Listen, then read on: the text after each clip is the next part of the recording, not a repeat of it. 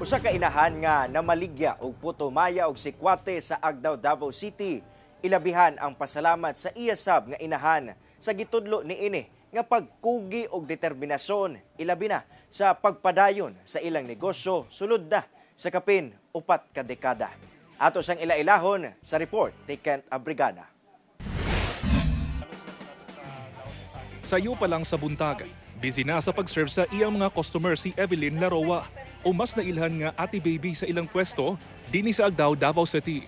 Ang iyang baligya, putumaya og sikwate nga recipe pa sa iyang inahan nga si Teresita Laroa. Kapin upat ka dekada na ang milabay.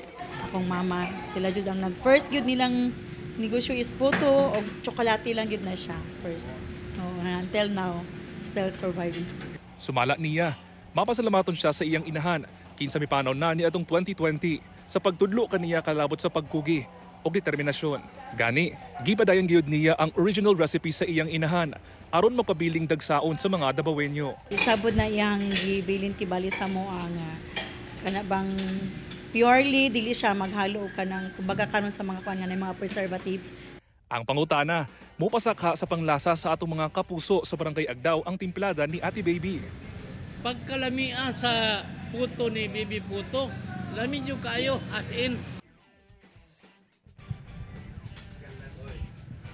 Lami kayo.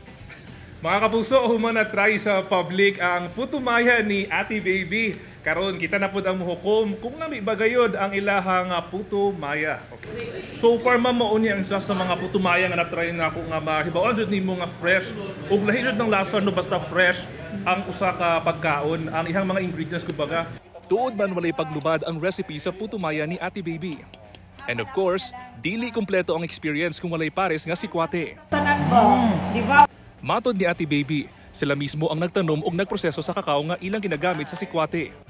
Pero I wonder mga kapuso, unsa ba jud ang sikreto sa lami ang putumaya o sikwate ni Ate Baby? Siyempre, isa na sa pagluto. Isa ka secret ingredients is ayan, imong love, imong gugma sa pagluto. Oh, Kaya kung wow. nakay love and compassion sa imong pagluto mo, lami ito na imong kuan ni luto. Pagkaon. Tuod man, way sama sa pagmahal sa inahan ug iyang anak. Sama sa kapilit sa putumaya, Happy Mother's Day sa tanang inahan. Kauban si Mel Cominares sa kamera. Ako si Kent Abrigana para sa One, Mindanao.